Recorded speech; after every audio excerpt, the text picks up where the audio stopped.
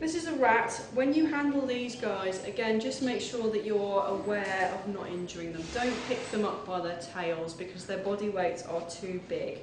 To pick up a rat, just grab it around the middle and pick it up like that. To restrain a rat, use a claw-like motion, so two fingers, and put one either side of the head and then put the other fingers underneath the front legs. It's a really good way to restrain them. They're very friendly and they're very uh, intelligent, so you'll be able to handle these really well.